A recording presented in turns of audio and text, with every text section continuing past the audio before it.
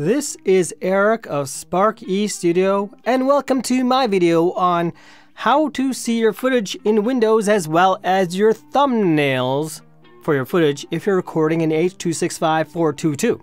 And here's what happens when we try to open that 422 H65 encoded file. It just doesn't work. Now, if you do 420, you should at least be able to play your video footage in Windows through downloading some software that you have to pay for. All the software I'm showing in this video is completely 100% free. You're welcome. Now, I want to show you a couple different things. There are two different programs for viewing your footage. One is better than the other. I'll leave the personal preference to you. Now let's start with VLC Player. First step is to search VLC Player. You want to go down to download and click on that. From there, we just simply click download VLC player. Just nice and simple and it will download momentarily. Once downloaded, we can now click on it. It'll automatically extract and install. Right click the video file, go down to properties and open with. We're going to change that. We're going to go to VLC media player, click OK once you select it and apply the setting. Now we can actually open our video file. And we see that went blank for a moment. And when we move our mouse around, you'll notice it keeps on going missing whenever I go over top of the video file as well.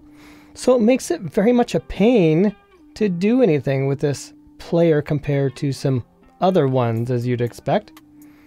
Now let's open this up full screen and I can show you what happens when we get to the end of the played file which we'll see it simply stops the video playback, the player's still open.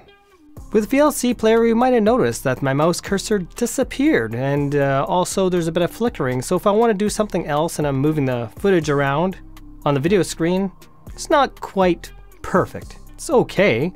Definitely better than nothing, that's for sure, and it's easy to install and easy to download.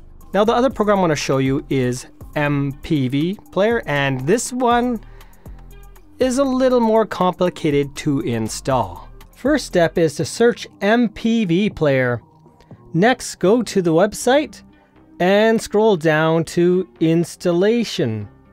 Once there, we see we have installation for Windows, Mac OS, source code, Linux packages, mobile platforms, and other platforms. In my case, I have Windows 10, so I'm going here, and I'm going to download the 64-bit V3 file and it will automatically download after 5 seconds. And if that wasn't already complicated enough, you'll have to use a program to extract those compressed files. Here's MPV Player, and if I open it, it shows this. My files themselves don't autoplay. We still get the same error, so again, we're going to right click, go down to Properties, and change with Open With. My MPV player is only here because I previously attached it to the files. Some of you might have to find your download folder. I see it's right here, so I'm going to choose that one. I'm going to open with that file, click apply, and OK. Now we have the video file playing and we can move it around screen. Not a problem at all. Let's make it full screen. Not quite full screen. Oh, right here. There we go. That's full screen. Let's reduce it so we can move it around the screen and see what happens. So let's do some resizing. Perfect, no glitches. And let's see what happens when we go to the end of the video. Well, what's going to happen is the video player closes.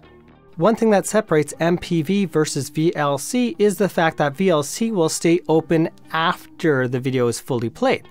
MPV closes down completely. I'll leave that preference to you. Now, how about those thumbnails? Well, those thumbnails, we're gonna be downloading a program called Icaros. First step is to look up Icaros, that is I-C-A-R-O-S, from Video Help. When on the site, we can scroll down and we'll see a version for Windows and a download for portable or other versions. I'm using Windows, so I'm to download that one. Installation is as simple as clicking on the file, Choose your language, click OK, click accept and next and follow the instructions. Activate thumbnailing. You may want to choose video only because you don't need the thumbnails on other files. Now we can also choose static or dynamic. And if you choose dynamic, that is the one best for caching all new files.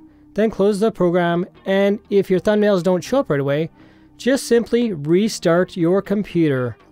Feel free to like and subscribe and help this channel grow so we can all work together for a better life in film and video. This is Eric of Sparky Studio.